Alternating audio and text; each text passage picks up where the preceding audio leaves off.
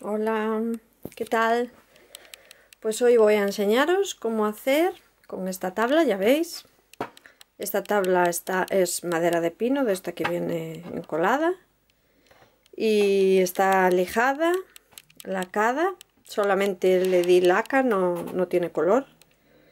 Le di dos manos y entre mano y mano una lija muy finita para alisar.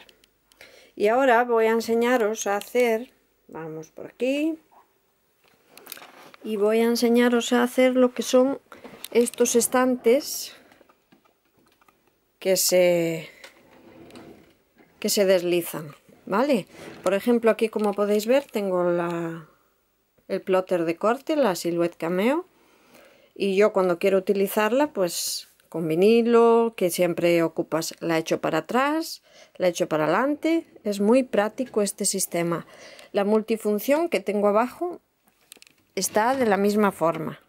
¿Veis? Bueno, pues lo que aquí en el medio, como podéis ver, ya puse un raíl. Este raíl es la base. Hay que ponerlo derechito y la tabla va a nivel de la parte inferior.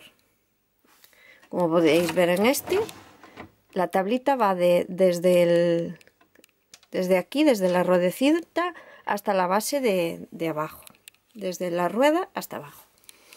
Bien, pues voy a enseñaros cómo se hace. Ya veis que ya he nivelado, he puesto a nivel lo que son las dos bases, la de un lado y la del otro. Ese es el primer paso, marcar y con un nivel poner derecho y atornillar, ¿vale? Ya está atornillado. Ya están los dos.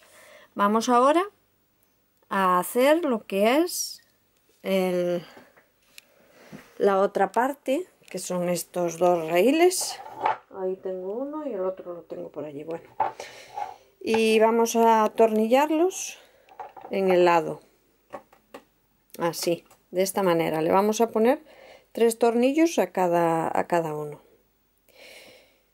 Como no tengo el trípode aquí y no puedo grabaros, voy a intentar grabaros a ver cómo hago, aunque sea con el trípode pequeño. A ver qué hago. No sé si veis bien así. Creo que sí. Bien, pues voy a abrir la luz para que veáis un poquito mejor. Y lo que vamos es a atornillarlo aquí. Mm, bien, esta va a ser la parte de abajo. Así. Vamos a coger los tornillos y vamos a coger el atornillador y vamos poniendo los tornillos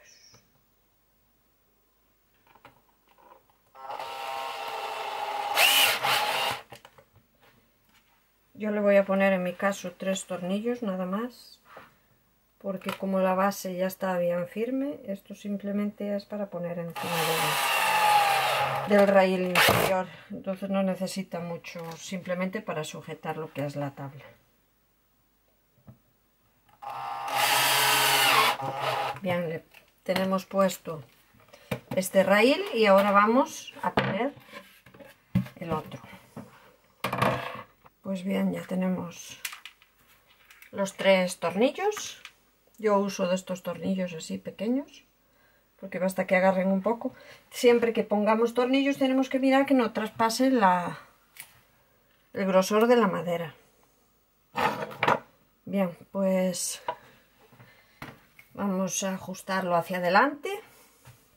El sobrante del raíl, porque el raíl no tiene el mismo tamaño que la tabla.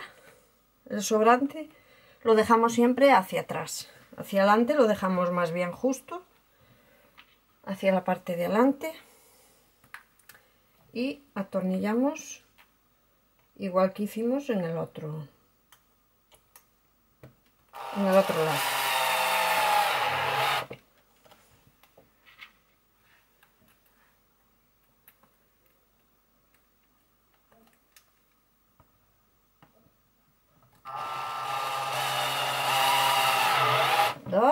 y el tercer tornillo.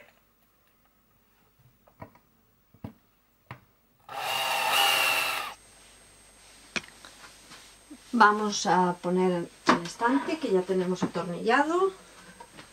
Ya veis, ya le pusimos el raíl por un lado y el raíl por el otro. Y ahora, en la parte que ya tenemos atornillada, solo tenemos que meter las rueditas encima de las otras y deslizar. Ya tenemos nuestro estante deslizante puesto, ya veis. Así de fácil. Yo aquí lo quiero para poner lo que son los vinilos de la Cameo y más las anillas de la Cinch. Ordenaré aquí lo que son los vinilos y la... Y ya veis que si quieres usar la multifunción se quita para afuera y sin problema. Y si queremos usar la cameo, pues igual. El plotter recorte igual.